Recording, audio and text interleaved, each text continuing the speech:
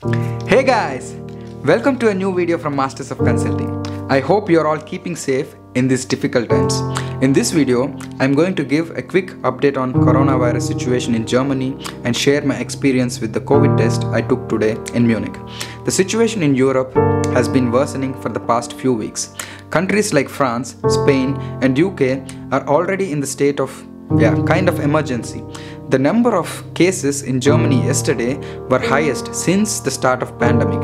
Experts say that this could be also due to the heavy testing that is being done. Yeah, Germany actually it's testing they are testing a lot in Germany these days. That's also true that in Germany you can take a COVID test with ease. So as I'm flying to India in the month of November, I've decided to try and take a test and see how it is done. First, we have to book an appointment online. I will add the link in the description below. This is only for the people who are in Munich. So, either you can go in by car, by walk, or by bicycle. I would recommend going in by car as I feel it is much safer than to walk in or by bicycle.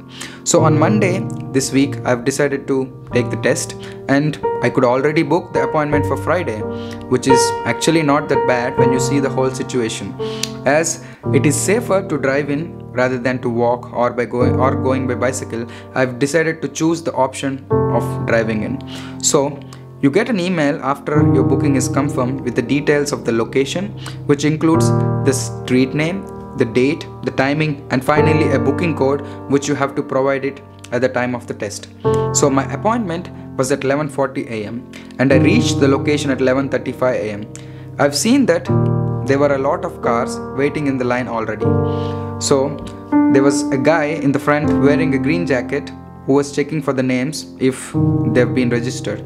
If you are registered, he will let you in. So once I got in there, there were two lines for the cars. One is for the ones who have been sent by the Gesundheitsamt, which translates as health authorities in English, and the other line was for people like me who want to just do the test to know if they are positive or not. There was another guy who is checking if we have an appointment or we have been sent by the health authorities. So, after staying in line for 40 to 45 minutes, I reached to the point where they are taking the test. At least that's what I thought. So, in the first tent, they verified all my details again. This includes my address, my telephone number, my booking ID, and then they gave me two documents out of which I had to give one to the doctors who took my COVID test. This document had details of my health insurance. When I reached the final tent, the doctor has asked me why I am taking this test, and I told that it is just for me to know if I'm positive or negative for COVID. And then he asked me to open my mouth and put the swab in my throat. Actually, it kind of hurt. After that, he gave me another brochure which had the details of online login. I will link this also in the description below. In this link, we can actually check the results, and uh, he actually told me that the results will come on Monday. So I took the test on Friday, and the results will be coming on Monday, which is not bad. Uh, so this is it. I just came out of the place and then it's all done. So it took me around like one hour from the appointment time to the time it's finished. So this was my experience with the whole corona test and hopefully this has been helpful for you. I hope this situation subsides very soon.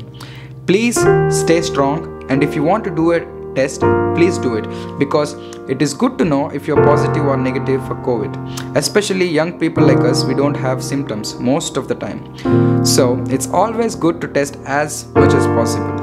And if you test pos- for positive, then it is good to stay home and yeah, not go out. Hopefully, I will test negative on Monday. So, yeah, stay safe and until next time.